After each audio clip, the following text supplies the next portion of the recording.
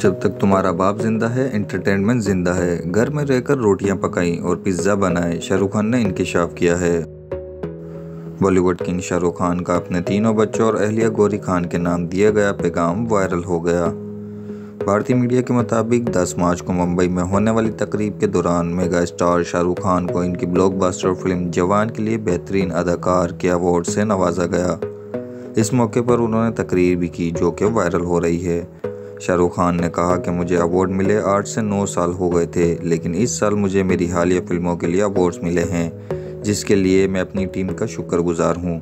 उन्होंने कहा कि चार से पाँच साल पहले जब मेरी फ़िल्में हिट नहीं हो रही थी तो मुझे बहुत बुरा लगता था। इसी वजह से मैंने फ़िल्में करना छोड़ दी थी और घर बैठ गया था। मेगा स्टार ने कहा कि मैंने घर में रहकर रोटियाँ पकाई, पिज़्ज़ा बनाया और अपने बच्चों के साथ खूब खेला। इसी दौरान कोरोना वायरस आ गया था, जो तकरीबन तीन से चार साल तक रहा। शाहरुख खान ने कहा कि अब फ़िल्में भी हिट हो रही हैं और फिर से अवार्ड्स भी मिल रहे हैं तो देखकर दिली खुशी मिल रही है।